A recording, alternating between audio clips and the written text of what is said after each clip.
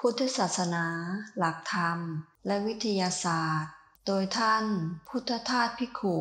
นับตั้งแต่การที่โลกว่างเปล่า เริ่มกลายเป็นมนุษย์โลกขึ้น เมื่อหลายแสนปีมาแล้ว มนุษย์ได้ใช้มันสมองสแสวงหาความสุขใส่ตน เป็นลำดับลำดับมาทุกๆยุค จนในที่สุดเกิดมีผู้สั่งสอน ลัทธิแห่งความสุขนั้นต่างๆกัน ตัวผู้สอนเรียกว่า ศาสดาคำสอนที่สอนเรียกว่า ศาสนา ผู้ที่ทำตามคำสอนเรียกว่า ศาสนิก ทุกอย่างค่อยแปลมาสู่ ความดี ยิ่งขึ้นทุกทีสำหรับคำสอนขั้นโลกิยะ หรือจัญญา ย่อมสอน มีหลักตรงกันหมดทุกศาสนา หลักอันนั้นว่า จงอย่าทำชั่ว จงทำดี ทั้งต่อตนเองและผู้อื่น ดังที่ทราบกันได้อยู่ทั่วไปแล้ว ตั้งแต่คำสอนขั้นสูงสุดที่เกี่ยวกับความสุขทางใจ อันยิ่งขึ้นไปนั้น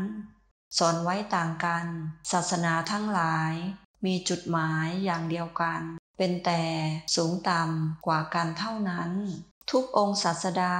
เว้นจากพระพุทธเจ้า สอนให้ยึดเอาสิ่งใดสิ่งหนึ่ง ซึ่งสาวกไม่มีความรู้พิสูจน์ว่าเป็นสิ่งศักดิ์สิทธิ์สูงสุด เป็นผู้สร้างโลก และอำนวยสุขแก่สัตว์โลก เป็นที่พึ่งของตนให้นับถือบูชาสิ่งนั้น โดยแน่นแฟ้นปราศจากการพิสูจน์ ทดลองแต่อย่างใดเริ่มต้นแต่ยุคที่ถือผี ถือไฟ ถือดวงอาทิตย์ ดวงจันทร์ และดวงดาวต่างๆ มาจนถึงยุคคือถือพระเป็นเจ้า เช่นพระนารายณ์และพระพรหมของศาสนาฮินดูพยะโฮวาของศาสนาคริสเตียน และยิว และพระอาลาของอิสลาม ต่างสอนให้มอบความเชื่อในพระเจ้าเหล่านั้น แต่ผู้เดียวว่าเป็นผู้มีอำนาจเหนือสิ่งใดทั้งหมด ทั้งทั้งที่ไม่ต้องรู้ว่า ตัวพระเจ้านั้นเป็นอะไรกันแน่ และผิดจากหลักธรรมดาโดยประการต่างๆ ต่อมาเมื่อสองพันปีเศษมาแล้ว ภายหลังแต่พระเจ้าของศาสนาพราหมณ์ ก่อนแต่พระคิดและพระโมหมัดของชาวยุโรปและอาหรับหนึ่ง พระพุทธเจ้าได้อุบัติบังเกิดขึ้นทรงสอนการพึ่งตนเอง และทรงสอนหลักธรรมทางใจในขั้นสูง ผิดกับศาสนาอื่นทั้งหมดคือ หลักกรรมทรงสอนเป็นใจความว่า สุขทุกข์เป็นผลเกิดมาจากเหตุของมันเอง ได้แก่ การกระทำของผู้นั้น ผลเกิดจากการกระทำของผู้ใด ผู้นั้นต้องได้รับอย่างแน่นอน และยุติธรรมไม่มีใครอาจสับเปลี่ยน ตัวผู้ทำกับตัวผู้รับ หรือมีอำนาจเหนือกฎอันนี้ได้ นี่เรียกว่าลัทธิกรรม มีเป็นหลักสั้นๆว่า สัตว์ทั้งหลายมีกรรมเป็นของตน หมุนไปตามอำนาจกรรม ซึ่งในระหว่างนั้นก็ทำกรรมใหม่ เพิ่มเข้า อันจะกลายเป็นกรรมเก่า ต่อไปตามลำดับเป็นเหตุและผลของกันและกัน ไม่รู้จักสิ้นสุดคาบเกี่ยวเนื่องกัน เหมือนลูกโซ่ ไม่ขาดสาย เราเรียกความเกี่ยวพันอันนี้กันว่า สังสารวัตรหรือสายกรรม มันคาบเกี่ยวระหว่างนาทีนี้กับนาทีหน้า หรือชั่วโมงนี้กับชั่วโมงหน้า วันนี้กับวันหน้า เดือนนี้กับเดือนหน้า ปีนี้กับปีหน้า จนถึงชาตินี้กับชาติหน้า สับสนแทรกแซงกันจนรู้ได้ ยากว่าอันไหนเป็นเหตุของอันไหนแน่ ดูเพลินๆจึงคล้ายกับว่ามีใครคอยบันดาล สายกรรม ประจำบุคคลหนึ่งหนึ่งย่อมผิดจากของอีกคนหนึ่ง เพราะฉะนั้นต่างคนจึงต่างเป็นไปตาม แนวกรรมของตนเองไม่เหมือนกัน กรรมเป็นเหตุ สุขและทุกข์เป็นผลเกิดมาแต่กรรมนั้นๆ หลักอนัตตา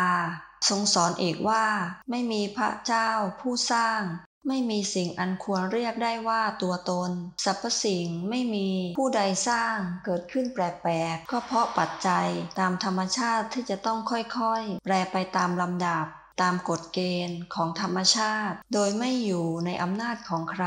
เรียกว่ามันเป็นอนัตตา หลักอนัตตานี้จึงมีแต่ในพุทธศาสนา ไม่มีในศาสนาอื่น อันสอนว่าทุกสิ่งพระเจ้าสร้างขึ้นเป็นตัวตน และอยู่ใต้อำนาจพระเจ้า ผู้เป็นเจ้าแห่งตัวตนทั้งหลาย ทรงสอนว่าไม่มีตัวตน ซึ่งเที่ยงและยั่งยืน สิ่งหนึ่งย่อมเกี่ยวเนื่องมาแต่อีกสิ่งหนึ่ง และสิ่งนั้นก็เกิดทยอยมาแต่สิ่งอื่น แม้สิ่งอื่นนั้นก็เกิดทยอยมา แต่สิ่งอื่นอีกตั้งต้นมานาน ซึ่งไม่มีใครกำหนดได้ และจะเกิดสืบต่อกันไปข้างหน้าอีกเท่าไหร่แน่ ก็กำหนดมิได้เหมือนกันกฎข้อนี้เป็นไปทำนองเดียวกัน ทั้งสิ่งที่มีวิญญาณ และที่หาวิญญาณมิได้สำหรับสิ่งที่หาวิญญาณมิได้จักยกไว้ เพราะไม่เกี่ยวกับสุขทุกข์ ส่วนสิ่งที่มีวิญญาณ เช่น มนุษย์และ สัตว์เดรัจฉานทั่วไป เป็นสิ่งที่ควรเรียนรู้ เพราะเกี่ยวกับสุขทุกข์ในชีวิตมนุษย์เรา เกิดจากการรวมพร้อมแห่งรูปธาตุและนามธาตุอันมีประจำอยู่ตามธรรมดาในโลกนี้เมื่อสองอย่างนี้ยังประชุมกันเข้าไม่ได้อย่างเหมาะส่วน ก็เป็นมนุษย์ขึ้น เช่นเดียวกับพืชพันธุ์ไม้ที่อาศัยดินฟ้าอากาศ และเชื้อในเมล็ดของมันเอง งอกงามกลายเป็นต้นไม้ใหญ่โตขึ้นได้ รูปธาตุและนามธาตุนั้น แต่ละอย่างก็ล้วนเกิดมาจากการรวมพร้อมของพืชอื่น อีกต่อหนึ่ง เกิดสืบต่อกันมาเป็นลำดับจนกว่าจนเหมาะสำหรับผสมกันเข้าในรูปใหม่เมื่อใด รูปประธาตุในกายนี้ เช่น พืชและเนื้อสัตว์ ซึ่งอาศัยสิ่งอื่นเกิดมาแล้วหลายต่อหลายทอด จนมาเป็นเชื้อบำรุงร่างกายนี้ โดยเป็นเชื้อให้เกิดและบำรุง ส่วนเล็กที่สุดของร่างกาย ที่สำหรับจะเป็นเนื้อ หนัง กระดูก ผม ขน เล็บ ฟัน โลหิต และอื่นๆ ในร่างกายเราธาตุลม มันเกิดขึ้นจากธรรมชาติ ส่วนอื่นๆ ก็ได้ใช้เป็นลมหายใจเข้าไปบำรุงโลหิตและสิ่งต่างๆ โลหิตเป็นเหตุให้เกิดความอบอุ่น และความร้อนขึ้นได้ เท่านี้ก็พอจะมองเห็นได้ว่ามันอาศัยกันเกิดขึ้นเป็นลำดับลำดับมามากมาย นี้เป็นการเกิดการผสมการแปรของธรรมชาติ ฝ่ายรูปธาตุ ส่วนนามธาตุนั้นยิ่งละเอียดมาก นามธาตุอาศัยได้เฉพาะในรูปธาตุที่ได้ปรับปรุงกันไว้ เหมาะเจาะแล้ว และมีหน้าที่บังคับรูปธาตุพร้อมทั้งตนเอง ให้ตั้งอยู่ หรือเป็นไปต่างๆตลอดเวลาที่เข้ามาเนื่องเป็นอันเดียวกัน ควรเปรียบเรื่องนี้ด้วยเครื่องไดนาโมไฟฟ้าชิ้นโลหะต่างๆ กว่าจะมาคุมกันเข้าจนเป็นอย่างนี้ได้ นั้นล้วนแต่เกิดจากอุตุนิยมสืบมา ไม่รู้กี่หมื่นกี่แสนปี จนมนุษย์นำมาปรับปรุง ให้เป็นรูปต่างๆ ก็ยังหามีไฟฟ้าเกิดขึ้นไม่ แต่เมื่อได้ยักย้ายประกอบการเข้าจนถูกส่วน พร้อมด้วยอาการหมุน มันจึงปรากฏแรงไฟฟ้าอย่างแรงขึ้นได้ ไฟฟ้าบางส่วนนั้นปรากฏขึ้นมาจากการหมุนของเครื่อง การหมุนของเครื่องกลับได้แรงไฟนั่นเอง มาช่วยสนับสนุนในการหมุนบางส่วนก็มี ถ้ามีแต่ชิ้นโลหะก็ดี มีแต่อาการหมุนอย่างเดียวก็ดี หรือมีกระแสไฟฟ้าอันเป็นธรรมชาติประจำอยู่ในสิ่งต่างๆ ในโลกก็ดี ยังไม่ประชุมกันเข้าได้แล้ว กระแสไฟฟ้าใหม่จะไม่ปรากฏขึ้นมาได้เลย ชั้นใดก็ชั้นนั้น รูปธาตุหรือร่างกายนี้ เปรียบเหมือนเครื่องไดนาโม นามธาตุเปรียบเหมือนกระแสไฟฟ้า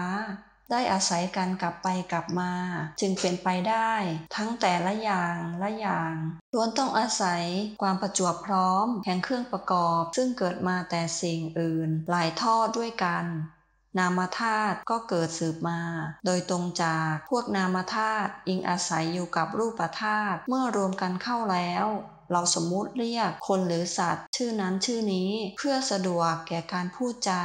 เช่นเดียวกับสมมุติเรียกชิ้นโลหะ และวัตถุต่างๆ ว่าเครื่องไดนาโม ยี่ห้อนั้นยี่ห้อนี้เหมือนกัน หลักของการที่สิ่งต่างๆ เป็นเหตุผลของกันและให้เกิดสืบสาวกันไปนี้เป็นปัญหาที่ละเอียดลึกซึ้ง ซึ่งพระองค์ได้ทรงตีแตกอย่างทะลุปรุโปรงในตอนหัวค่ำแห่งคืนตรัสรู้ที่ใต้ต้นมหาโพธิ์ที่พุทธคายาเรียกว่าปะกิจจะสมุดปะบาทความรู้อันนี้ทำให้พระองค์ทรงรู้จักโลกดี พอที่จะตีปัญหาที่สองออกได้สืบไปว่ามนุษย์เราควรทำอย่างไรกันจึงเหมาะแก่โลก ซึ่งมีธรรมชาติเป็นอย่างนี้ หรือจะอยู่เป็นสุขในโลกอันมีสภาวะเช่นนี้ได้ การตีปัญหาข้อสองออกได้สำเร็จผล เกิดเป็นหลักธรรมต่างๆ ที่พระองค์ใช้สอน บริษัทในสมัยต่อมานั่นเองอันรวมใจความได้สั้นๆว่าสิ่งซึ่งเกิดมาจากสิ่งอื่น ซึ่งไม่เที่ยงถาวร และทั้งอาการที่สืบต่อกันมา ก็ไม่ถาวรแล้ว สิ่งนั้นจะเที่ยงถาวรอย่างไรได้ ย่อมกระสับกระส่าย โยกโครง แปรปรวนไปตามกันสิ่งที่แปรปรวนไม่คงที่ย่อมก่อให้เกิดภาวะชนิดที่ทนได้ยาก คือทำให้เจ้าของ ได้รับความไม่พอใจ เสียใจ และเป็นทุกข์ เมื่อมันแปรปรวนและเป็นทุกข์อยู่อย่างนี้แล้ว มนุษย์จึงไม่ควรฝืนธรรมชาติเสอะเข้าไปรับเอาความทุกข์นั้น โดยเข้าใจอ้างตัวเองเป็นเจ้าของ ร่างกายนี้และร่างกายอื่น มันไม่ใช่ของเรา ไม่ใช่กรรมสิทธิ์ของเรา เห็นได้ตรงที่ไม่อยู่ในอำนาจเรา เราไม่ได้ทำมันขึ้นนอกจากอำนาจธรรมชาติ แห่งนามและรูปเท่านั้น ผู้ที่เข้าไปผูกใจในสิ่งต่างๆ ทั้งที่เป็นของภายในและภายนอกตนก็ดีว่าเป็นสิ่งที่จะเป็นไปตามความประสงค์ของตน ทุกเมื่อแล้วจะเกิดเป็นปัญหายุ่งยากขึ้นในใจของผู้นั้น มืดมิดเกิดกว่า ที่เขาจะสะสางได้ พระองค์จึงทรงสอนให้นาย และละวางสิ่งต่างๆ ด้วยการไม่ยึดถือทางใจ แม้ว่าตามธรรมดาคนเราจะต้องอิงอาศัยสิ่งนั้นๆ เพื่อมีชีวิตอยู่ หมายความว่าเราปฏิบัติต่อมันให้ถูกต้องก็แล้วกัน เมื่อเราไม่เข้าไปผูกใจในสิ่งใดสิ่งนั้น ก็ไม่เป็นนายบังคับใจเราให้อยากให้โกรธ ให้เกลียด ให้กลัว ให้แห้งเหี่ยว หรือให้อะไรถึงมันได้ เราจะอยู่เป็นสุข เมื่อใจหลุดพ้นแล้ว ก็เป็นอันว่าไม่มีอะไรมาทำให้เรากลับเป็นทุกข์ได้อีก จนตลอดชีวิต การคิดแล้วคิดอีก เมื่อตีปัญหานี้ให้แตกจนใจหลุดพ้น เรียกว่าวิปัสสนา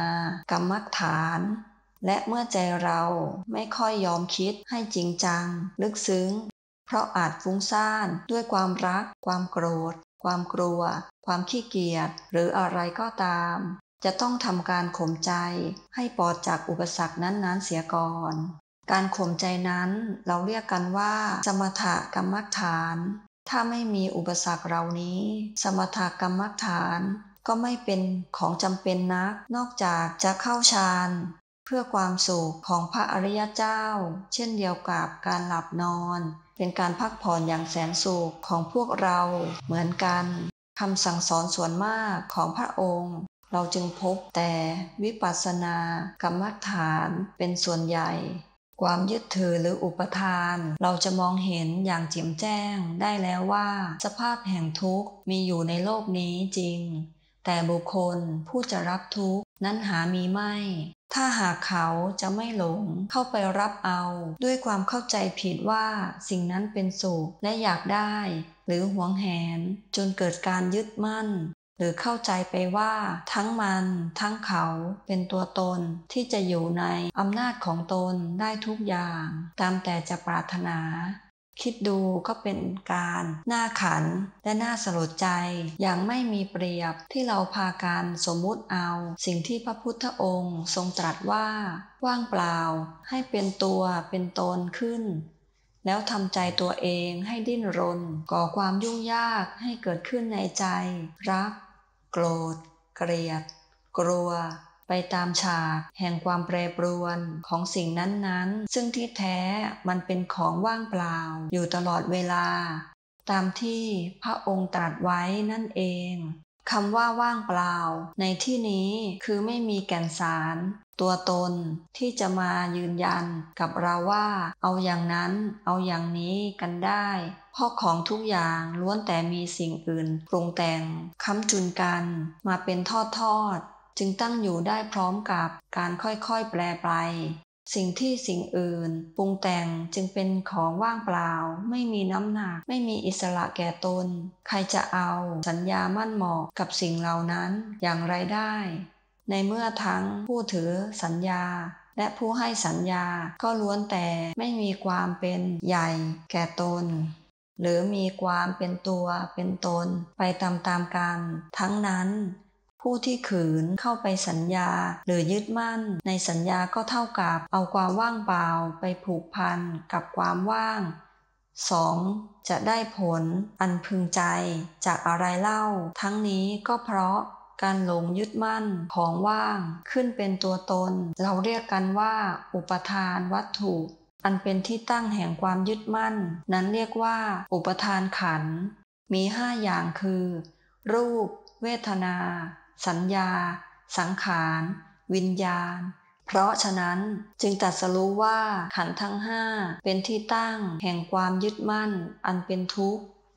หลักอริยสัจเราจะเรียนรู้หลักความจริงเหล่านี้ได้จากโรงเรียน คือร่างกายเรานี้เท่านั้น ของใครก็ของมันต้องอาศัยร่างกายเป็นที่ค้นหาความจริง เป็นครู สอนความจริง เพราะในร่างกายนี้มีลักษณะพร้อม ทั้งเหตุและผล พอเพียง ที่จะให้เราศึกษา หาความรู้ และทำความมั่นใจ ให้แก่เราได้ พระองค์จึงตัดไว้ว่า แน่เธอ ในร่างกายที่ยาววาหนึ่งนี้ นั่นเองอันมีพร้อมทั้งสัญญาและใจ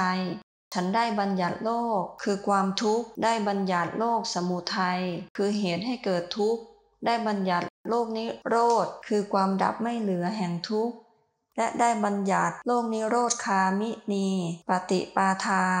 คือการทำเพื่อให้ถึงความดับไม่เหลือแห่งทุกนั้นไว้ คือการทำเพื่อให้ถึงความดับไม่เหลือแห่งทุกนั้นไว้ ในที่นี้ตรัสเรียกสภาพธรรมดา อันเต็มไปด้วยทุกว่า โลก เรียกความอยากทะเยอทะยานของสัตว์โลก เพราะความยึดมั่นเข้าใจผิดว่า เหตุให้เกิดโลก เรียกการดับความอยากเสียแล้ว อยู่สงบเป็นสุขใจ เพราะไม่ยึดมั่นและเข้าใจถูกในสิ่งต่างๆว่าเป็นที่ดับของโลก ทรงเรียกว่ามักมีองค์แปดประการ ว่าเป็นวิธีให้ถึงความดับของโลกนั้น อันเป็นสิ่งที่สัตว์ทุกคนควรกระทำเป็นหน้าที่ประจำชีวิตของตนตามในนี้ เป็นอันว่าหลักใหญ่ของพุทธศาสนา คือการสอนให้ดับทุกข์ภายในใจ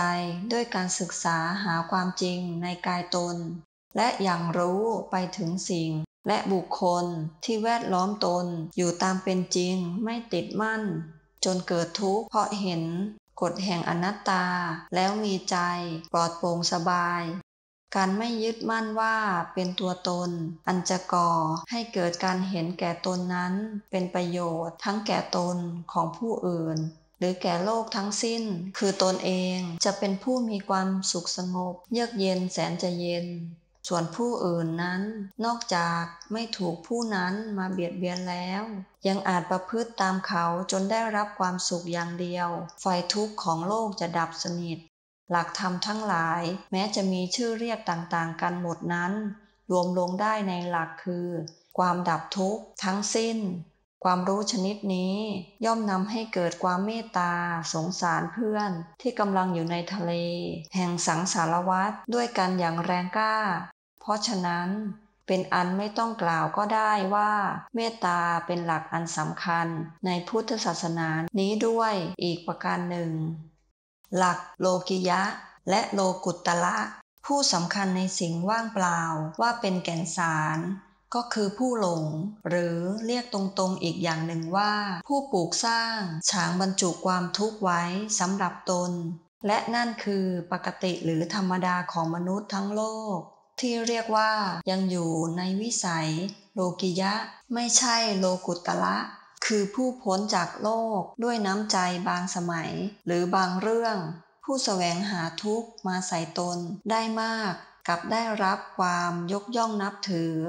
ทั้งนี้เพราะพากันหลงในสิ่งที่ยังไม่รู้จักมันดี และนับถือโลกิยะ คนยากจนซึ่งมีอยู่เป็นส่วนมากทะเยอทะยาน เงินทองของมหาเศรษฐี อย่างแรงกล้า แต่มหาเศรษฐีนั้นไม่ได้ทะเยอทะยาน หรือรู้สึกอะไร กี่มากน้อยในเงินทองของตนเองเลยเป็นแต่ทะเยอทะยานต่อส่วนที่มากขึ้นไปกว่านั้นอีก ส่วนความหนักใจ ความหวั่นใจ เมื่อคิดเทียบส่วนแล้ว ย่อมมีเสมอกันไปหมด มันมีส่วนมากน้อย เท่ากับที่ตนสมมุติเอา ความว่างเปล่าขึ้นเป็นตัว เป็นตน ตามมากและน้อย เพียงไร ใครสมมุติขึ้นมากก็ต้องแบกไว้มาก และหนักกว่า พระพุทธเจ้าเองก็เคยทรงแบกก้อนหิน อันหนักนี้ แต่แล้วกับทรงสลัดทิ้งเสีย เพราะพระองค์ทรงค้นพบว่ามันคือความทุกข์ทรมานของผู้เข้าใจผิด หลงเข้าไปยึดถือ เป็นของหน้าสะอิดสะเอียน และตรงกันข้ามกับเป็นของเบา สบายสำหรับผู้ไม่หลงยึดถือ หรือสลัดทิ้งเสียได้แล้ว นี้เรียกว่า ทรงค้นพบ โลกุตระธรรม เพราะฉะนั้นพระพุทธศาสนาก็คือคำสอนให้สลัดความทุกข์ออกทิ้งเสีย ให้พ้นจากความทุกข์อันเป็นของมีประจำอยู่ในโลกแต่อย่างเดียว ไม่หลงประกอบทุกข์ขึ้นแบกไว้ ไม่ใช่ให้อ่อนแอ ร้องขอแต่ความสุข ทั้งที่ไม่รู้จักทุกข์และสลัดมันออกไปเสีย โดยรู้ว่าภาวะที่หมดทุกข์นั่นแลเป็นความสุขที่แท้ มันเป็นการกระทำชีวิตให้กลับกลาย มาเป็นอิสระจากสิ่งต่างๆที่มีอยู่ ตามธรรมชาติ อันยั่วยวนใจในโลก ภายหลังจากที่เราเองได้ยอมตนเข้าไปเป็นทาสด้วยความโง่ อย่างยิ่งของเรามาแล้วตลอดสังสารวัฏอันยาวยืด ซ้ำซากไม่มีที่สิ้นสุดลงได้ จนกว่าเราจะรู้เท่าทันมัน ดวงใจอันข้ามขึ้นอยู่เหนือโลก เช่นนี้เรียกว่า โลกุตละจิต ภาวะที่เป็นเช่นนั้น เรียกว่า โลกุตละธรรม โลกุตละวิสัย หรือโลกุตละภูมิ ในวงแห่งศาสนาอื่นๆ เมื่อศาสนิกใกล้จะตาย ย่อมร้องว่า สวรรค์ พระเจ้า แต่สำหรับพระพุทธศาสนิกที่แท้จริง จะร้องว่าความดับสนิทยังไม่มีเหลือเป็นเชื้ออีกต่อไป นี้แสดงว่าเขาเหล่าโน้นยังอยากอยู่ในโลก โลกสวรรค์หรือโลกพระเจ้า ส่วนพุทธศาสนิกมีจุดหมายปลายทาง คือความดับไม่มีเหลือ โลกุตละจึงมีแต่ในพุทธศาสนาเท่านั้น เมื่อมนุษย์ยังเป็นป่าเถื่อน รู้จักและปรารถนาความสุขอย่างสูงสุด เพียงการได้กิน ได้เสพของอร่อย พออิ่มไปขณะหนึ่งหนึ่งเท่านั้น แต่ความคิดของมนุษย์ในอันแสวงหาความสุขที่ยิ่งขึ้นไป ไม่ได้หยุดเฉยอยู่ นานเข้าค่อยมีความเห็นแปรไปสู่ ภาวะที่สูงขึ้น จนรู้จักและปรารถนาทรัพย์สมบัติ แว่นแคว้นปรารถนากามสุข จนถึงสวรรค์ อันเป็นที่สุดยอดของกาม นานต่อมามีพวกหัวคิดสูง เห็นว่าสุขในกามก็ยังเป็นของเสียดแทงหัวใจ เท่าๆกับความหวานอร่อยของมัน เลยนึกหาความสุขอันสูงขึ้นไป และได้ยึดเอาว่าความมีความเป็นแห่งชีวิตที่ปราศจากกาม เป็นยอดสุข คือ ความเป็นพรหมนั่นเอง และบัญญัติขึ้นในยุคนั้นว่าความเป็นพรหมนั่นแหละเป็นนิพพานคำว่านิพพานที่แปลตามศัพท์ว่าปราศจากการเสียดแทง ได้เกิดมีขึ้นแต่ครั้งนั้น ต่อมาอีกนาน พระพุทธเจ้าอุบัติขึ้น และทรงค้นพบว่าภาวะแห่งพรหมก็จังไม่เที่ยง แปรปรวนและแตกดาบเช่นเดียวกับสิ่งที่ต่ำกว่าอื่นๆ จะเรียกว่านิพพานหาได้ไหม ยังเสียดแทงอยู่อย่างละเอียด เพราะยังมีความสำคัญว่าตัวตนอยู่ จะต้องเสียดแทงใจในเมื่อมันแตกดับ เพราะยังมีความอยาก ความปรารถนา ในทางที่แม้ไม่ใช่กาม ก็จริง ตัณหายังมีอยู่ จึงทรงบัญญัติความดับไม่เหลือเป็นตัวตนสำหรับยึดถืออีกต่อไปว่า เป็นตัวนิพพาน อันแท้จริง อันจะไม่มีใครมาบัญญัติความสุขให้สูงกว่านี้ขึ้นไปได้อีก โลกุตระธรรม หรือนิพพานที่แท้จริง จะมีแต่ในพุทธศาสนา นอกนั้นยังอยู่ในวิสัยโลกทั้งสิ้น ต่างกันสักว่า ชื่อเป็นมนุษย์โลกบ้าง เทวโลกบ้างพรมโลกบ้างพระพุทธศาสนากับวิทยาศาสตร์ หลักแห่งพุทธศาสนา แปลจากศาสนาอื่น ทั้งหลาย โดยเป็นศาสนาแห่งวิชาความรู้ที่ทนต่อการพิสูจน์ของใครๆ ได้ทั้งสิ้น ดังที่ตัดไว้ว่า ธรรม ในพุทธศาสนาย่อมทนต่อการพิสูจน์ได้สามคือทำให้ใครพิสูจน์ได้ทุกอย่าง จนผู้พิสูจน์พ่ายแพ้ภัยตัวเอง หมดมานะ กลับใจ ย่อมนับถือพุทธศาสนา คำที่กล่าวกันว่า พุทธศาสนาเหมือนกัน หรือเข้ากันได้กับวิทยาศาสตร์นั้น มีผู้ตีความกันว่า เพราะพุทธศาสนาแยกสังขารร่างกายออกวิเคราะห์ หาความจริง เช่นเดียวกับวิทยาศาสตร์ แผนปัจจุบันแยกธาตุต่างๆ ออกหาคุณสมบัติชั้นละเอียดข้าพเจ้าเห็นว่าคำกล่าวนั้นยังไม่เพียงพอกับคุณค่าอันสูงสุดแท้จริงของพระพุทธศาสนา ราะถ้ากล่าวเช่นนั้นแล้ว วิชาจรีระศาสตร์ หรือแพทยศาสตร์ อันเกี่ยวกับการแยกตรวจร่างกาย ก็จะกลายเป็นพุทธศาสนาไปส่วนหนึ่งด้วย ที่แท้ควรกล่าวว่าเหมือนกันโดยที่หลักวิทยาศาสตร์ ก็ทนต่อการพิสูจน์อาจทำการพิสูจน์ให้ดูเอง หรือยอมให้ใครพิสูจน์ได้ทุกท่าทุกทาง จนเข้าหมด ถ้าจะพิสูจน์เพื่อโต้แย้งอีกต่อไป และหมดความสงสัย เช่นเดียวกับพุทธศาสนา ยอมให้ใครเพ่งพิสูจน์ซักไซอย่างไรก็ได้ ยอมทนอยู่ได้ จนเขาหมดวิธีพิสูจน์ และต้องเชื่อ สัจจะย่อมไม่ตายคำว่าวิทยาศาสตร์ในที่นี้หมายถึงวิชาที่แท้จริงทุกๆอย่าง ไม่เฉพาะแต่การแยกธาตุ เท่านั้น แม้คณิตศาสตร์ ก็เป็นวิทยาศาสตร์ในที่นี้ด้วย ถ้าท่านสงสัยว่าวิชาเลขหรือคณิตศาสตร์ จะทนต่อพิสูจน์ได้เหมือน พุทธศาสนาอย่างไร ก็จงลองดูอย่างง่าย ๆ ที่สุดว่า2บวก3เท่ากับ 5 เป็นต้นนี้ มันเป็นความจริงเพียงไรมีใครบ้างที่อาจพิสูจน์ให้เห็นได้ว่า2บวก3ได้ผลเป็นอย่างอื่น นอกจาก 5 ใครจะพิสูจน์ โดยวิธีไร กี่ร้อย กี่พันเท่า ก็ตาม มันยังคงเป็นสองบวกสามเท่ากับห้าอยู่เสมอ เป็นหลักที่แข็งแรง ยืนยงกว่าภูเขา หินแท่งทึบ อันอาจวันไหวได้ โดยธรรมชาติ หรืออุตุนิยมแปรปรวน หลักความจริง แห่งวิทยาศาสตร์ เหล่านี้มั่นคง มีอุปมาฉันใดพุทธศาสนาก็มีหลักแห่งความจริง หนักแน่นมั่นคงฉันนั้น แม้จะขนเอาการแยกธาตุและตรวจค้นพิสูจน์อย่างที่เรียกว่า วิทยาศาสตร์แผนใหม่ ทั้งหมดมาเป็นเครื่องมือพิสูจน์ ก็ไม่อาจพิสูจน์พุทธศาสนาให้เศร้าหมองไปได้ เช่น พิธีต่างๆ เป็นต้น มาพิสูจน์ในนามว่า พุทธศาสนาก็แล้วกัน ความจริง หรือพุทธศาสนาจะยังคงอยู่ชั่วโลก ไม่มีสมัย หรือขีดขั้นกำหนดเวลาอายุ เพราะเป็นการเรียนรู้ธรรมชาติ เพื่อชำนะธรรมชาติด้วยความจริงเช่นนี้